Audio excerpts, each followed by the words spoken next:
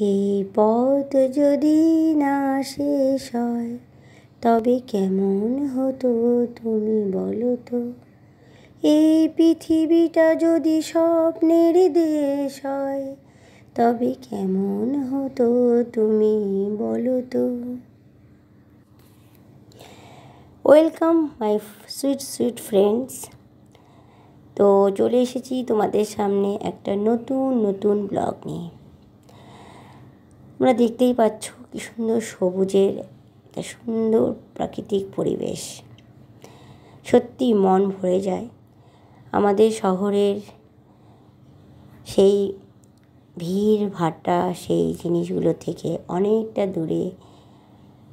আজকের ব্লগটা আমার সেটাকে নিয়ে আমার দেওরের বিয়ে ছিল ম্যারেজ তো সেটা আমি সেলিব্রেট করতে বীরভূমে গিয়েছিলাম। সেই বীরভূম ট্রিপটাই তোমাদের সাথে শেয়ার করব। আর কিছু বিয়ের স্মৃতি সেগুলোও আমি শেয়ার করব। কীভাবে গেলাম? তো দেখো, সবার প্রথমে আমরা তো রেডি হয়ে নিয়েছি। খুব সকালে গিয়েছিলাম, কলকাতা সোদপুর থেকে এখান থেকে প্রায় চার থেকে পাঁচ ঘণ্টা লাগে। তো সকালে উঠে রেডি হয়ে নিয়েছি, পুরো বিয়ের সাজ। কেমন লাগছে আমাকে অবশ্যই বলবে। বিয়েতে যেমন, বিয়েতে যখন যাচ্ছি তো একটু সাজতে তো হবেই গর্জেস সেরকমই শাড়ি পরেছি। আর দেখো, এত ভালো লাগছে মনটা যে অনেক দিন পর, একে তো করোনার মধ্যে আমরা সবাই ঘরের মধ্যে বন্দি ছিলাম। তো এখন একটু ফ্রি হয়েছি তো এখন যে এই যে পরিবেশটা দেখতে পাচ্ছি অনেক দিন পর। তো আমার সত্যি এত ভালো লাগছে যে মনে হচ্ছে না ওখানেই থেকে যায়, আর আসে না।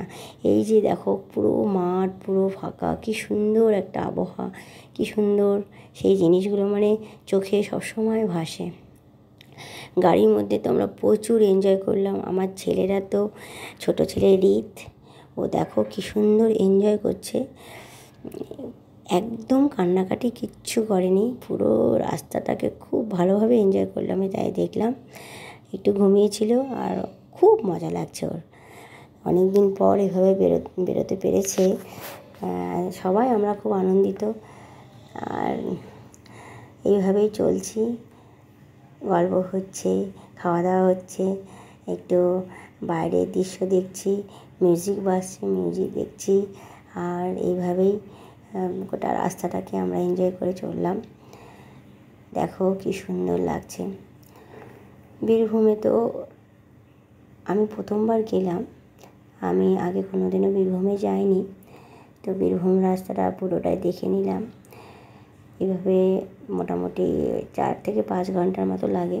যদি কোনো ট্রাফিক জ্যাম না থাকে তাহলে। আমার ছেলে তো পুরো একদম ভালো করে এনজয় করল, বড় ছেলেও ছোট ছেলেও। যেদিন আমার দেওরের বিয়ে ছিল, আমার দেওর প্রফেশনালি একজন ডক্টর ওর তো ওখানেই বীরভূমে বিয়ে করছে, ওখানে মেয়ের বাড়ি থেকে। তো আমরা সবাই সেই জিনিসটা যেহেতু একমাত্র দেওর তো যেতে তো হবে অ্যাটেন্ড তো করতেই হবে। হ্যাঁ সেই জন্য যাচ্ছি। সকাল সকাল উঠে পড়েছি রেডি হয়ে ওদের জন্য কিছু টিফিন টিফিন নিয়েছি ফল কিছু কেটে নিয়েছি, রাস্তায় খাইয়ে দেব। সারাদিন ওখানে থেকে আবার রাত্রিবেলা ব্যাক করব।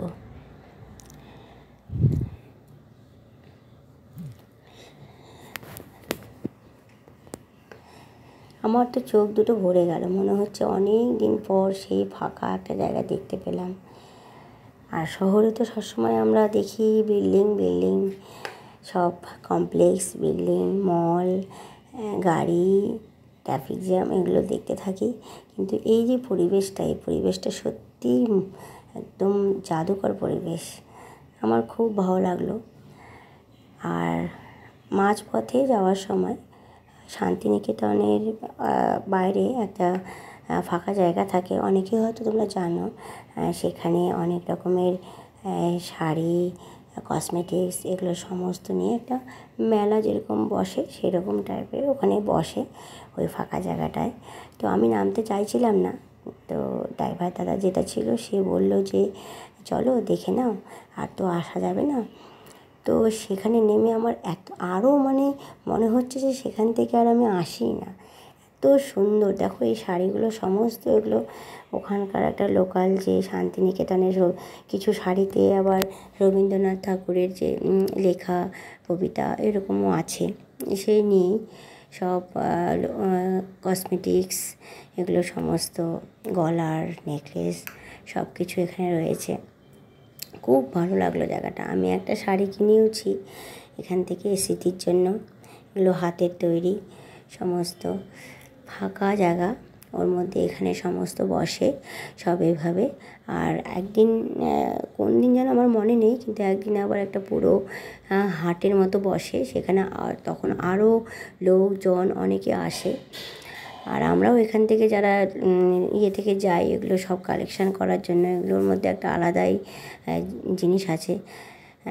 আমি বেশি কিছু কিনতে পারলাম না, একটা জায়গায় যাচ্ছি সেই জন্য। প্রিপারেশানটা সেরকম কিছু নিইনি।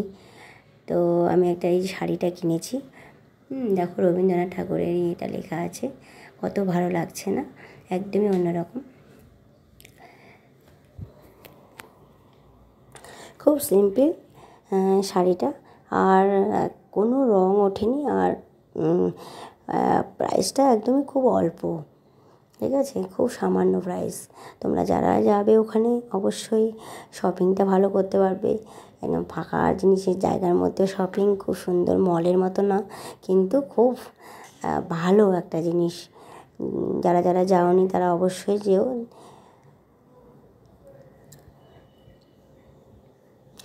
শাড়িটার কালারটা মাঝখানে, এটা পুরোটাই এই কালার। আর ব্লাউজটা, পিসটা সেটা সবজি সবুজ কালারের। ওই মাঠের মধ্যে দেখো, আমার ছেলে, আমি সবাই মিলে একটু নেমেছিলাম, তো দেখছি এদিকে ওদিকে সব ফাঁকা জায়গা।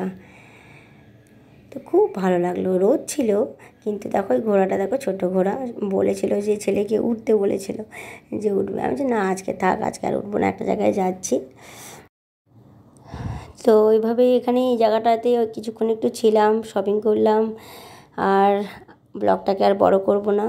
আর বাকি যে থাকল আরও কিছু জিনিস শেয়ার করার, ভালো জিনিস শেয়ার করার, সেটা তোমাদের সাথে ব্লগ টুয়ে শেয়ার করব, বীরভূম ট্রিপ আজকে এ পর্যন্তই।